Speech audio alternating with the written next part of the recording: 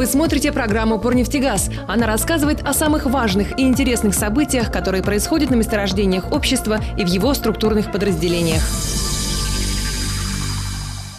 С планерки начинается почти каждый рабочий день на Тарасовском месторождении. Подчиненные Нафиса Мухамедшина знают, их начальник человек хоть и добрый, но в работе требовательный. На стене в рабочем кабинете у Нафиса Раисовича многочисленные грамоты, благодарственные письма и дипломы.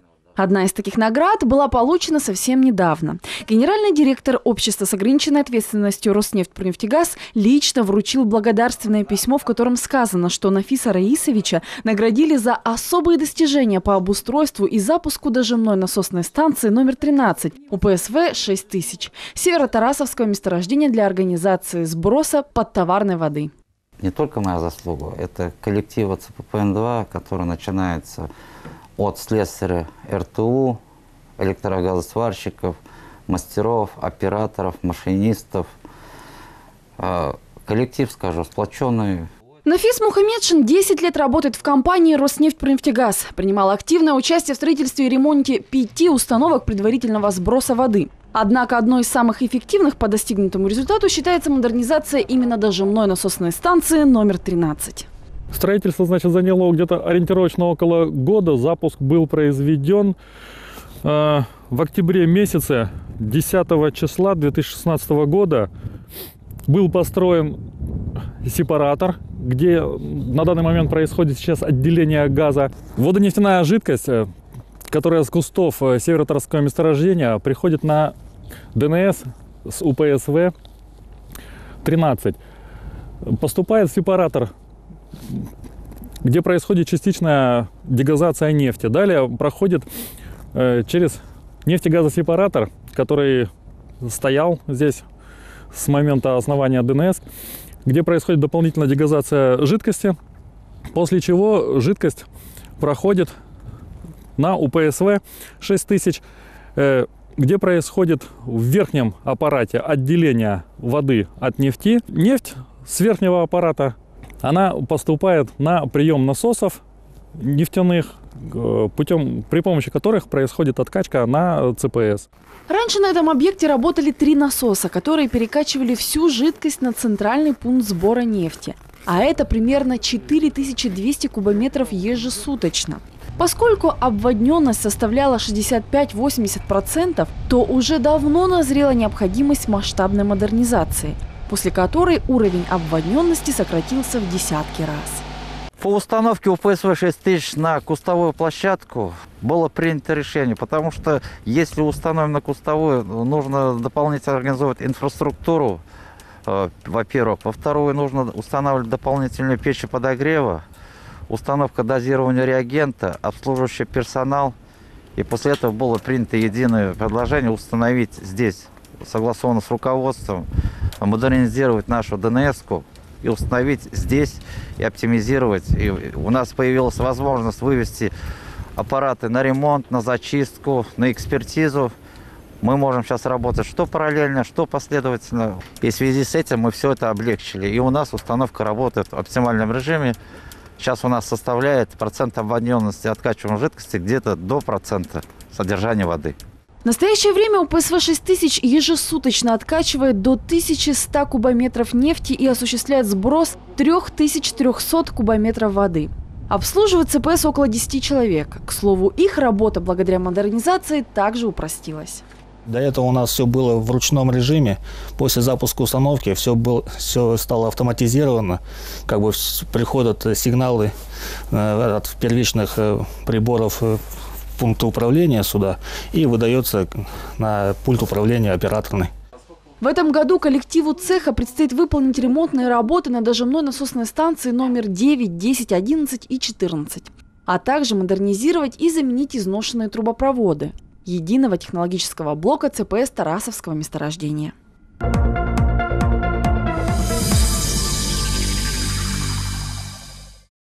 Love how me reggae and. Now me so me go so back. Почти три месяца назад мы показывали участников корпоративного конкурса «Роснефть зажигает звезды». Регулярные репетиции не прошли даром. На торжественной церемонии награждения участников Оксану Золину с Алисой Поляковой наградили грамотой за почетное второе место в своей номинации. Танец у нас родился специально под... э, Придумывали под Роснефть зажигает звезды. Что-то хотели интересное, при этом показать себя. То, что мы с Алисой танцуем разные направления. И все направления мы показали в данном номере. Напомним, Роснефть зажигает звезды проходит в три этапа. Первый на уровне Пурнефтегаза, второй – зональные туры, победители которых выступают на гала-концерте в Москве, где и проходит заключительный этап. Юлия Федоренко – одна из победителей первого этапа. На конкурс она представила фотографию «Девушка по городу». Участвовала первый раз на фотографии подружка сестры. Ну, фотография была сделана не специально, это была прогулка по парку. Корпоративный фестиваль проходит в восьми номинациях – вокал, хореография, изобразительное искусство, инструментальные, эстрадно-цирковой и оригинальные жанры, живопись и фотографии. В трех возрастных категориях. Самая старшая – 18 и более лет. В основном в ней участвуют сотрудники компании, которые находят время для творчества, несмотря на плотные графики и нелегкие трудовые будни. Работаю машинистом технологических компрессоров. А времени, ну как, время есть, чтобы посвятить себя вот именно творчеству, живописи. Было бы желание, а время найдется. Я пробую все разные, в разных стилях. То есть пока еще, как говорится, рука не набита, я пытаюсь э, охватить все. Я пробовал и импрессионизм, и пробовал дизайн, и все пробовал. И пока я свободен, я все пробую. Как вот на этих работах представлено, сейчас вот пробую кистью, ухожу от мастихина. Ну, пытаюсь все попробовать. В чем у меня получится лучше, на то, наверное, буду руку набивать. На торжественной церемонии подведения итогов победителям вручили кубки, всем остальным – грамоты и денежные вознаграждения. Помимо призовых мест были учреждены специальные номинации. Например, «За волю к победе». Такую получил дуэт, исполняющий народную песню. В этом году мы э, решили выступить с песней русской народной. Называется она «Ой, прилушки, прилушке». Вот. Э, Песня рассказывает про казака, который э, споймал коня и решил его оседлать. Вот. э, Выбор пал на эту песню у нас вдвоем, она нам просто понравилась. И мы решили, что это наша песня, и поэтому взяли ее. Суть-то песни в том, то, что он оседлал коня и потом после этого к милой девице своей приехал на нем. А вы были казаком? Я был поющим.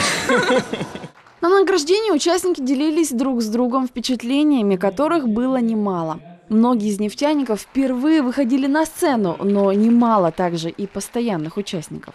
Я уже делал постановки для такого фестиваля, но сам принимал первый раз участие вот в Роснефти. Э, Ну, много сотрудников с нефтегаза участвовали, и как бы были зажигательные латинские танцы, современные танцы. А вот захотелось что-то такое стандартное сделать, потому что я уже, ну, старенький, больной.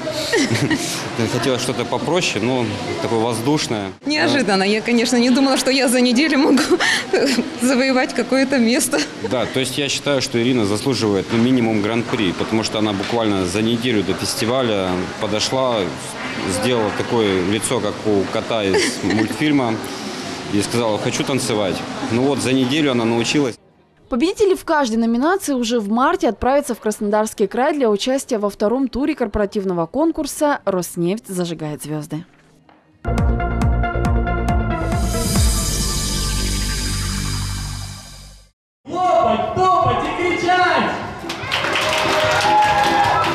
Выступлением зажигательных скоморохов началась масленица во Дворце культуры «Нефтяник». Один из приглашенных – Дмитрий Володин. Молодой человек пришел на праздник с мамой и сестрой и первым делом продегустировал все угощения на столе.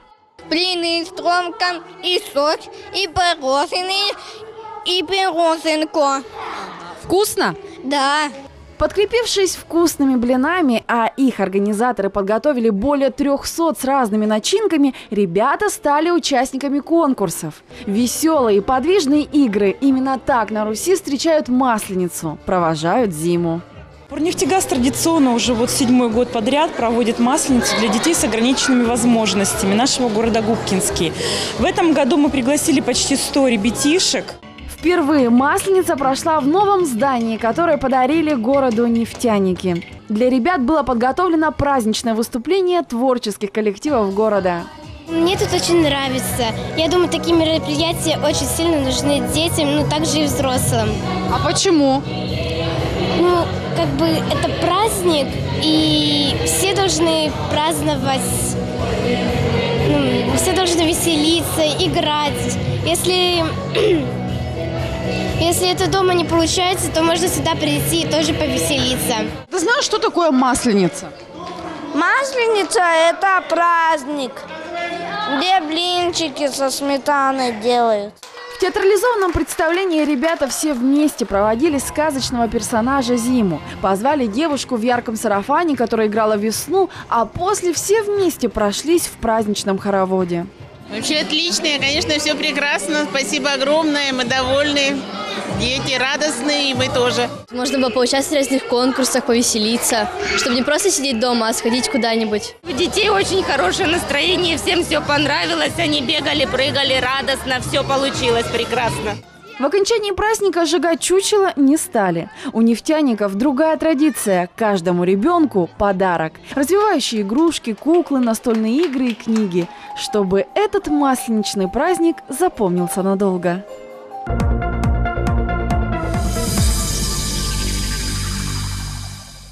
Крытый ледовый каток в девятом микрорайоне был заполнен морозным воздухом, лязгом коньков и криками болельщиков. Именно здесь стартовала 23-я спартакиада Пурнефтегаза. Семь команд из коллективов компании соревновались в дисциплине шорт-трек. Перед началом соревнований со вступительной речью к участникам обратился председатель профсоюзного комитета Пурнефтегаза Василий Скоропад. Я желаю, наверное, вам прежде всего бескомпромиссной борьбы, пусть победит сильнейший. Ну, самое главное, чтобы сегодняшние соревнования, так как они у нас первый раз проводятся, обошлись без травм. Желаю вам удачи, побед и крепкого здоровья. Чтобы снизить риск получения травмы, на всех участниках должна быть надета защитная экипировка. Обязательным условием для участия в забеге на льду было наличие у спортсменов шлема и наколенников. Немаловажное значение для конькобежцев имели хорошее настроение и подготовка, ведь участникам предстояло пройти дистанцию в 500 метров за одну гонку. Первыми стартовали женщины.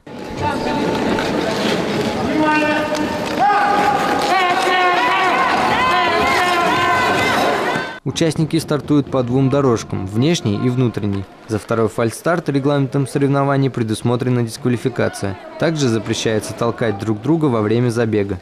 Очень классно было выходить первым на лед, волнительно, а, но в целом понравилось.